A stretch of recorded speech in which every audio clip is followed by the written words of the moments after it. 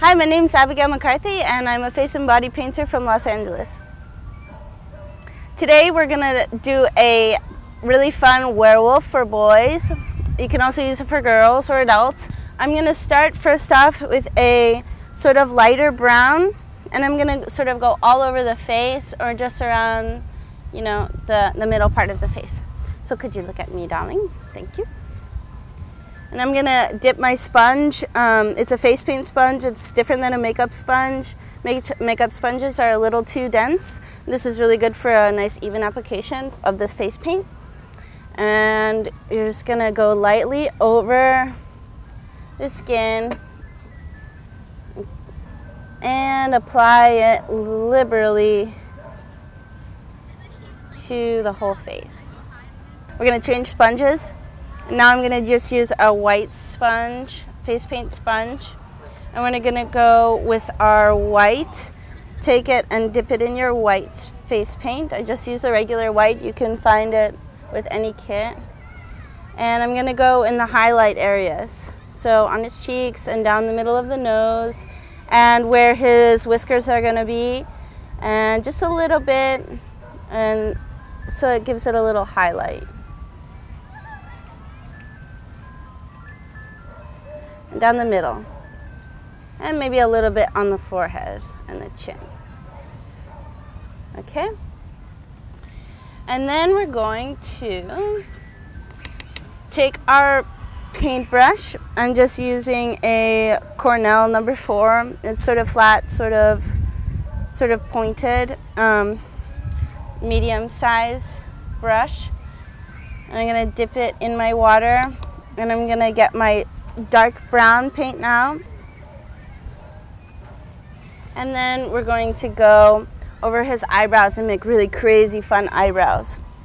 So first we're gonna take the brush and just flick it up, up, up, up, up. Because werewolves have really crazy eyebrows. And we're gonna take it from the corner of the eye and sort of make a C shape like that. So it makes the nose appear wider. And then we're gonna go over the nostrils like that to just darken it and make the shadow a little bit, a little bit nicer there. And then you can always take your finger and and uh, smudge it and smudge the paint to to um, to blend. So there we have it.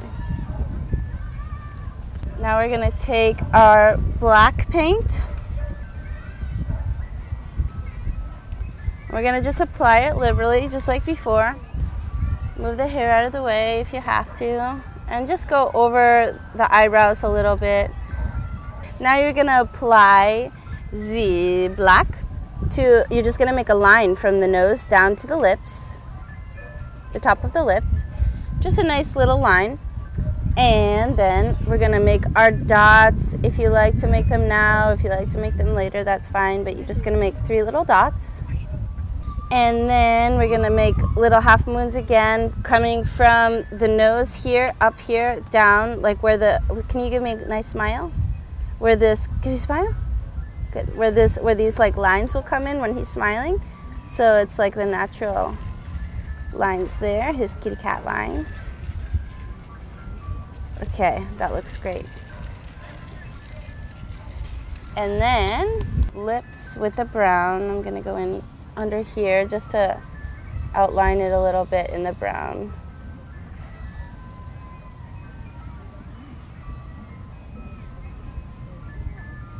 That looks great. Take a little bit of black if you need to and outline the lips. Very good. And now, just continue to shade in this part.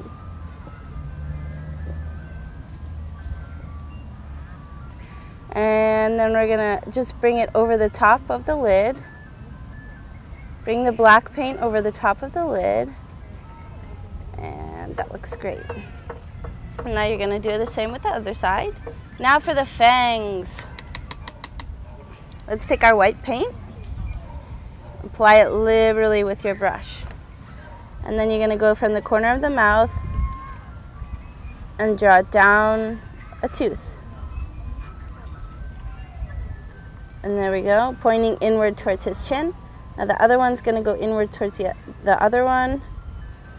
And that looks wonderful. And now, just to finish it, we're going to outline it in black.